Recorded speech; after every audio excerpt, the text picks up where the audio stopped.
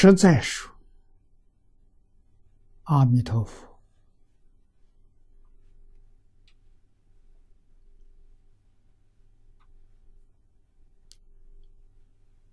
无论是法身、报身、应化身，都是身边十方，都是数穷三极。换一句话说，无处不在，无时不在，三生皆是。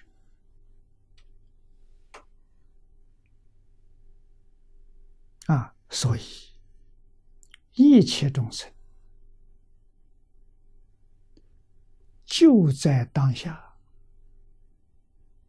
跟阿弥陀佛感应道交啊。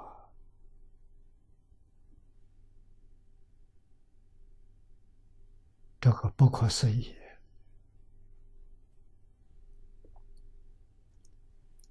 那么众生有感，佛决定有因。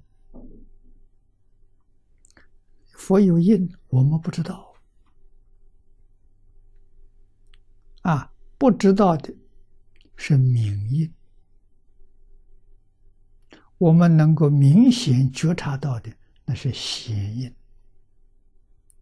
啊，因感应有四种啊，啊，决定有因。如果没有因，我们学佛得不到法喜。我们学佛信心愿力不能够支持到底，能够支持到底。能够决定往生，感应从来没有离开。就像我们前面所举，虚云老和尚朝五台山，从他发愿一直到达五台，往返文殊菩萨。没有一时一刻不照顾啊，念念呢都得到菩萨照顾，都得到菩萨加持啊，所以旅途上啊才一帆风顺呢。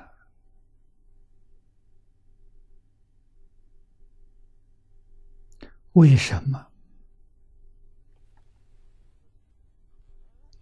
出家人要朝山，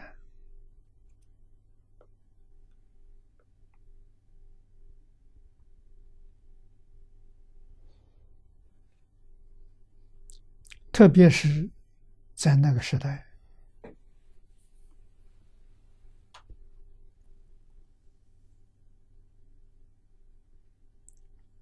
它的作用启发社会大众。对佛菩萨的敬仰，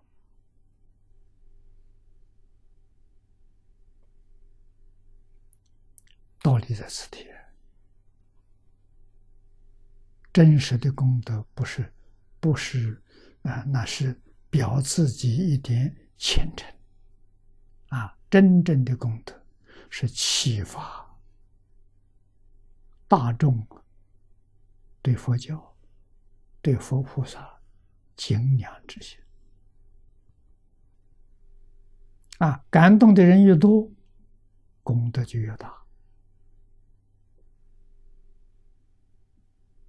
啊。这些被感动的人，对他影响的时间越长，这功德就越久啊。表这个法啊，显这个意义。所以，那就有必要了啊！那么，在今天的社会，这个法还能不能行得通？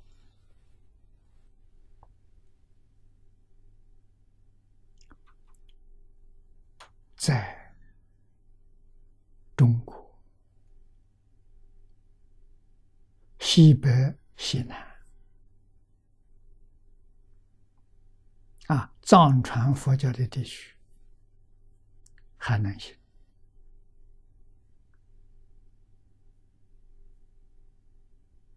啊，为什么呢？佛法的根底底蕴深厚。啊，在中原这一带行不通，没有人相信的。你这种表法的时候，人家说你是迷信，啊，不能接受。所以佛法是活活泼泼，因时、因地、因人，表法不相同。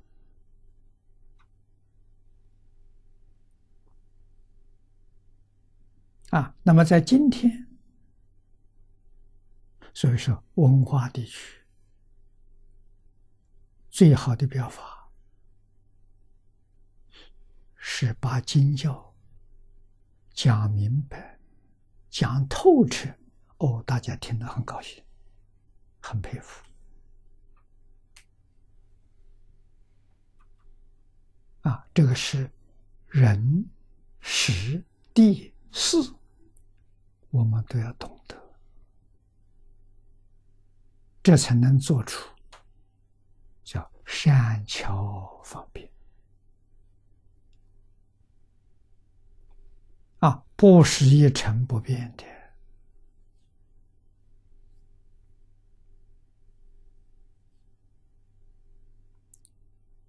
这个不能不懂啊。啊！要破除迷信，要启发正心，